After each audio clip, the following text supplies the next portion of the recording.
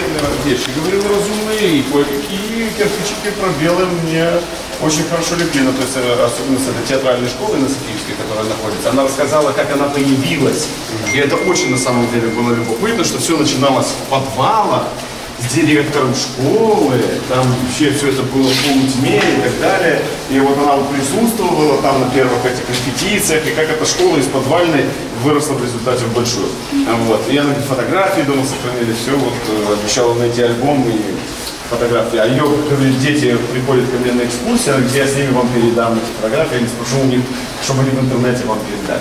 Вот я сейчас пока жду, это недавно было, пока еще не прислал. Но тем не менее, факт остается фактом, что я к тому, что люди, когда мы гуляем, иногда подключаются. Да? Вот сегодня у нас будет гениальное кино. Вот. Потом на конкурсы и, может быть, какой-то приз получим. Вот. Вот. Оскар. Смотрите отсюда, как э, смотрится, гляньте. Крыша, дымоходы, гляньте, вот сюда вы становитесь. Я выйду. а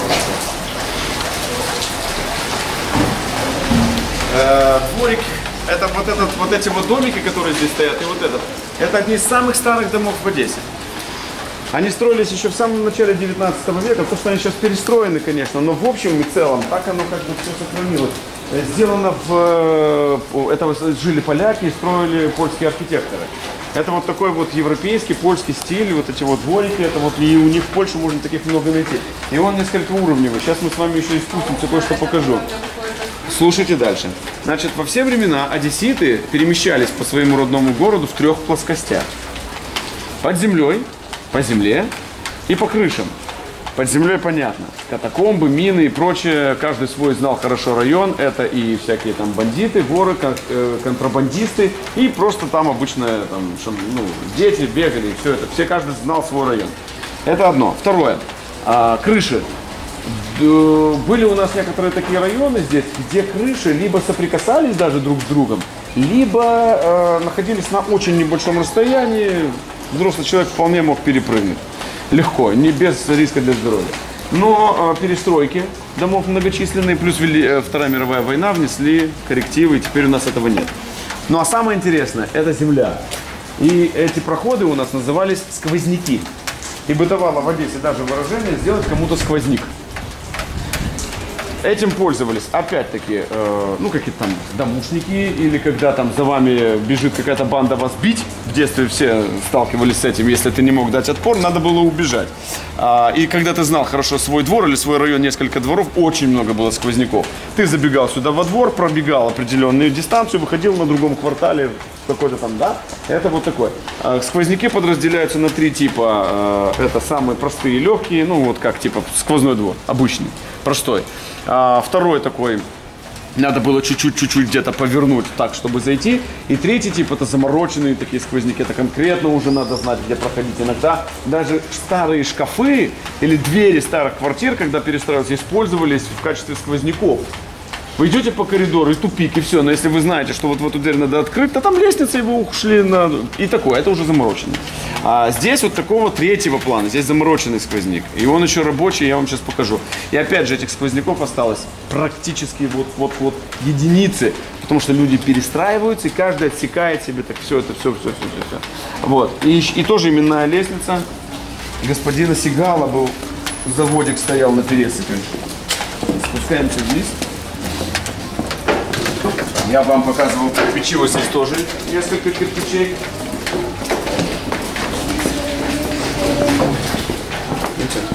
Так, для этого, для, ну, для декора просто воткнули.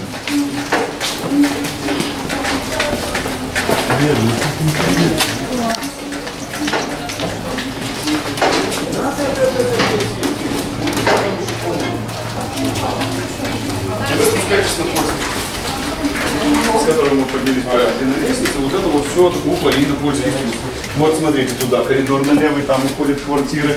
Здесь квартира тут просто пристроена, видите, квартира 16. Этого здесь не было. Здесь была голая площадка, и перила здесь заходили, как вот там. И туда уходят квартиры, и вот так вот вниз, и там вот выход есть на Польскую улицу.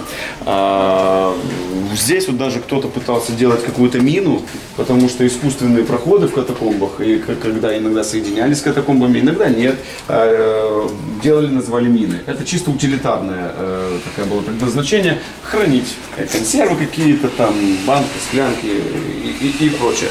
Что-то вот здесь вот пытались рыть, но так и не дорыли. Вот. э, вот такой вот сегодня, видите, жилой дом. Один из самых уникальных дворов находится вот там вот. Дальше, следующий, пятый. Это мы в третьем, пятый. А пятый дом э, э, знаком всей Одессе, легендарен. В нем снимали очень много фильмов.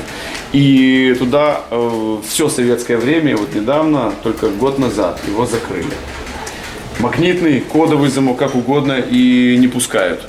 Даже там люди просто настолько устали, и даже не только что, не то, что устали, а то, что там начал проваливаться уровни, начали падать. Они такие маленькие арочки кирпичные. И представляете, сколько тонн все время, каждый день они выдерживают, когда туристы ходят. А почему-то не реставрируют. Люди сами не могут, а власти нафиг оно не надо. Фас- Фасад отреставрировали по европейскому стандарту, отшлифовали ракушняк. И вот если вам удастся туда попасть как-нибудь, там один-два человека, вас еще пустят, скажете, очень хотим посмотреть, там будьте любезны, пожалуйста, две минутки, мы аккуратненько, они вас пустят. Вот когда компания не пускает вообще, вот э, я их в принципе, понимаю. А Вот. э, Стоит туда как-нибудь попасть. А пока мы с вами поднимаемся наверх, идем смотреть последний двор. А зачем? Там уже были внизу. Просто смотрите. А, там иногда открыто, иногда закрыто. Понимаете? Поэтому сейчас просто испытывать большой компании терапии инженеров. Вот. Вы можете хотите сами погулять, сейчас вы знаете. Вот. Еще один, э, ну, один плюс этих э, экскурсий, Да, вот это сквозняк.